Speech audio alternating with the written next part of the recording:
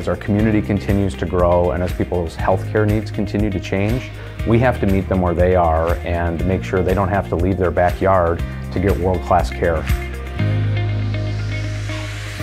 We've been talking about having our own cancer unit at the hospital, let alone a whole building with all of the treatment together. So it is a dream come true.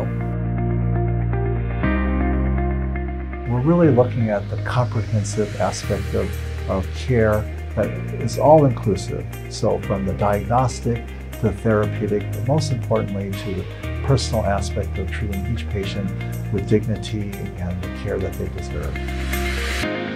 To add that prevention, treatment, and wellness tagline as part of the name, that name is intentional. It's to make sure that we do all three of those things.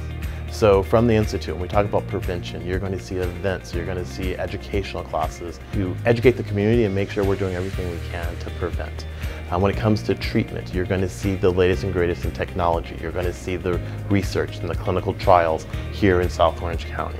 And when it comes to wellness, you're going to see those things coming to the spa, things that are mindful um, and that you're taking care of your whole being.